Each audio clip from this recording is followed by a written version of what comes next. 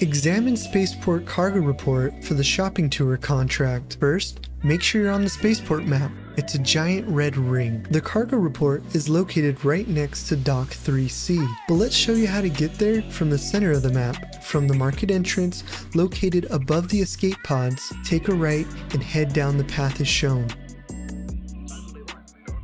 Look left and you will see the cargo building. Head down the stairs and into the building.